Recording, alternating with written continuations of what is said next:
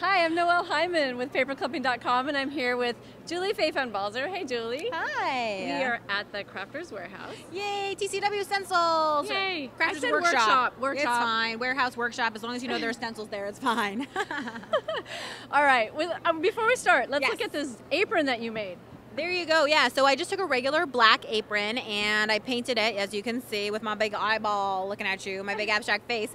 And then I did uh, my name here in rhinestones with using the ScanNCut's rhinestone kit, which is kind of cool. A little bit of bling bling, so you know who I am, and nobody can steal my apron because it can only belong to Julie. It looks really cool. Thanks. All right, so let's see some of this kind of creativity you have going on with your stencils. Okay, We'll so start. these beautiful babies are the new Balzer bits, and the bits, I always say that they're small stencils with a big impact, and basically they're masks, meaning instead of a square format where you push the paint through, they actually mask the image. So they're all under four inches. They're fantastic for jelly printing and spray inks and all sorts of stuff.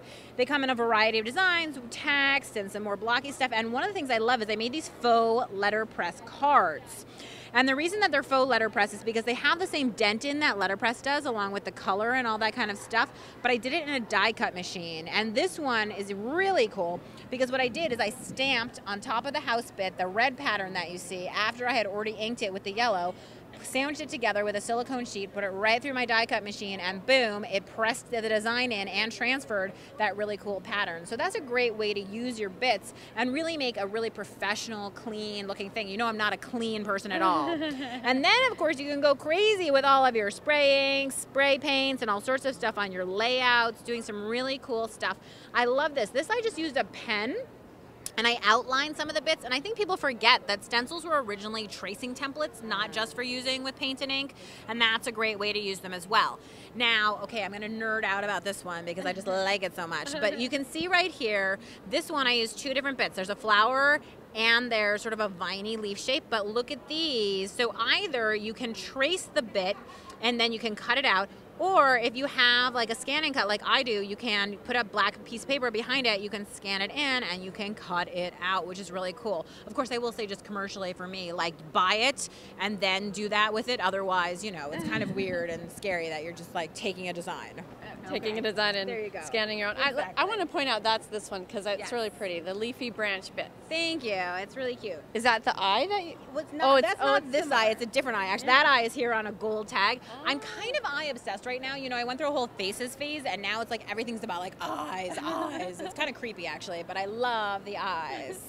All right, let's look at the bigger. Okay, so now the bigger stencils, which as always come in both 12 by 12 and 6 by 6, and you can see here that again, you're the boss of your stencils, and I truly try really hard in all my samples to show that you know you can do whatever you want. So like here, I've mixed together two different stencils. This is both a text stencil in two different sizes. You can see the two different sizes here, along with this like circly stencil that you can see here with the flowers. But look, I also cut the pieces out because again, you're the boss of your stencil. You get to decide how much of it you want to use and how you want to use it. And if you're really clever, you can see that in molding paste under here, actually the text stencil is here as well, just adding a little more texture to the piece, which is kind of cool. Now, jelly printing is such all the rage now, right? I have you tried it? Oh no, I I, your face. it. You look I'm scared. like, I'm like, I know I've heard of it, but I can't. Think Once you it. try jelly printing, I swear your life will change. Jelly Okay. printing is like my hands down my favorite thing on earth, and I'm even talking about like I love it more than my mother, who's over there. So just shh. Don't tell her. Don't tell her. Anyway, okay. So this background was jelly printed using the stencil that you can see right next to it, and you can see you get the border, you get all these wonderful variegated colors in here. You know, it's just a really great way of getting a clean, crisp. Look at these lines; they're so crisp. Yeah. And that's because the jelly plate allows you to do that, and it's so much faster than like spending hours with your cosmetic sponge dabbing up and down. You know. Uh, And then this actually, this background here was also jelly printed. But here's the thing you can do it in multiple passes. So I printed the different colors, each in separate passes, through the pod stencil that you see there.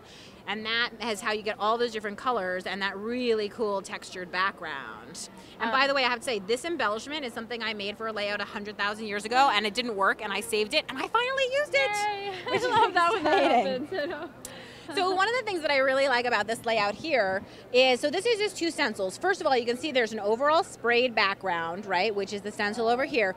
But I think my new favorite stencil from the whole line, if I were going to buy one stencil, would be this one. And you think, Julie, why? And that's because it's so versatile. Because what you can see is I added it here as tons of little embellishments using both sizes of the stencil. You can see like the big pluses here and the small ones here. And it just adds so much. It's like having a lot, ton of stamps with you, except that it's a uh-huh. little paper thin stencil. Super duper easy to do. Cool. And then that title is my handwriting, by the way, cut out with a ScanNCut, because you know I love doing that. Good job. Really cool.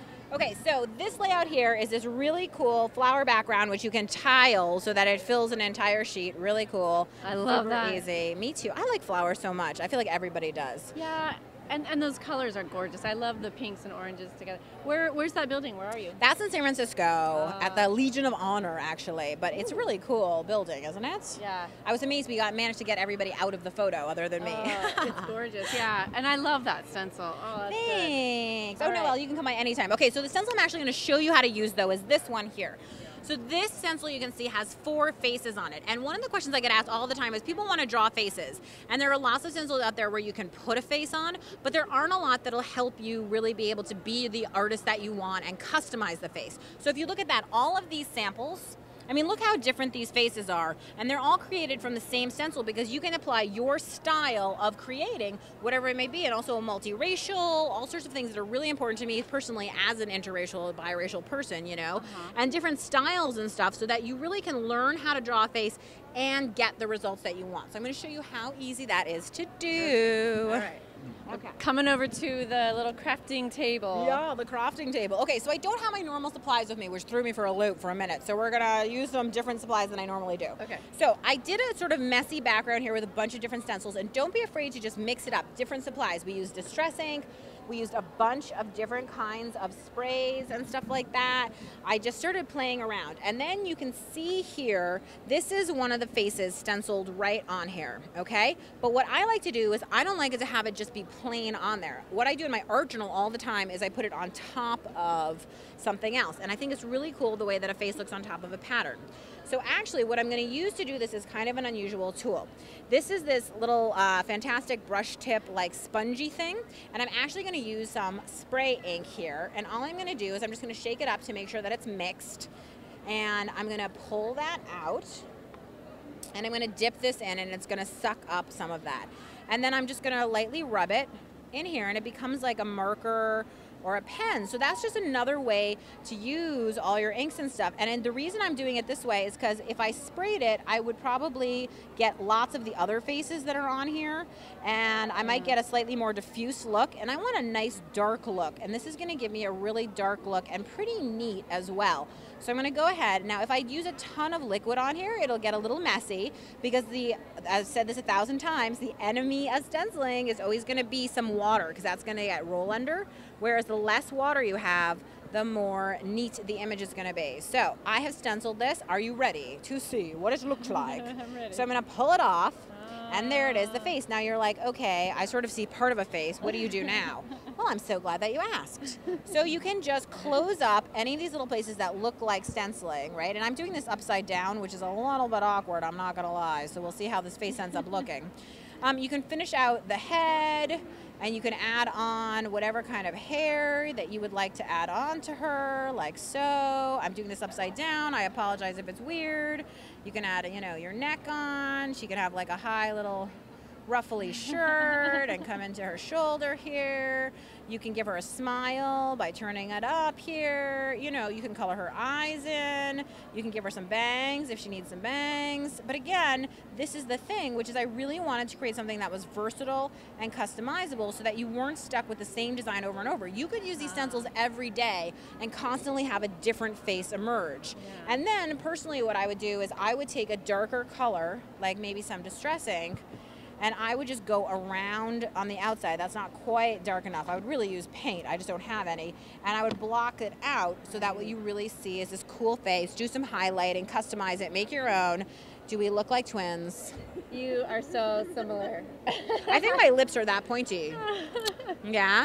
Anyway, but it's just, it's again, it's a fun and easy way to make faces that are totally and completely yours and yours alone, as opposed to being some designer's face on your work, which is one of the things that drives me crazy, right? I want to have something that's uniquely yeah. me. Yeah.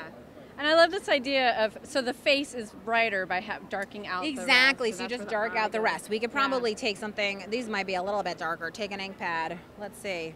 Yeah, there you go. Way darker. And then you black out that background. Necessity is the mother of invention. Look at how the yellow becomes a Look at how the cool yellow becomes a cool because if there's a resist in there, and there you go. And now you can see, and then we could use some white, you know, or some other kind of pen to highlight, make the whites of her eyes, give her a little more shape, and it would look like any of those other examples. So even if you have a really cutesy style, this will work for you. If you have more country style, if you want to make like Kelly Rae Roberts style with like the long neck and the tilted head and the wings, And the you can totally do that. Yeah. I think you could make a Buddha too. I'd make a Buddha with I it. definitely think you could. Yeah.